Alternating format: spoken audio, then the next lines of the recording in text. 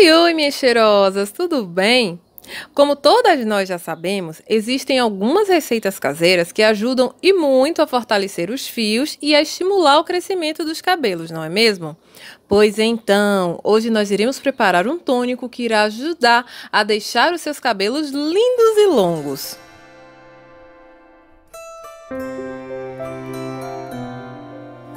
E para preparar essa receita, nós iremos precisar de uma colher de sopa da maca peruana, que vocês encontram em lojas de produtos naturais.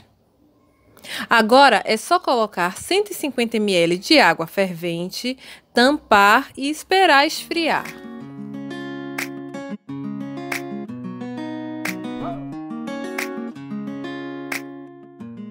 Depois que estiver completamente frio, eu irei coar.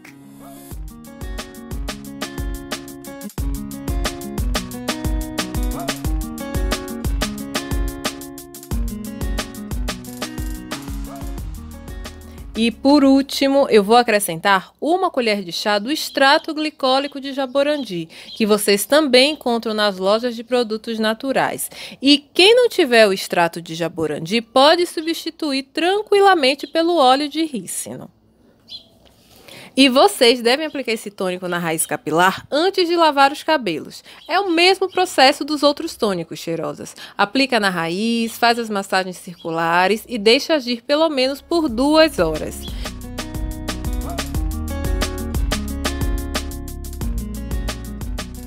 E vale lembrar que para melhores resultados, vocês devem usar de duas a três vezes na semana. E esse tônico pode ser conservado na geladeira por até 15 dias, tá bom?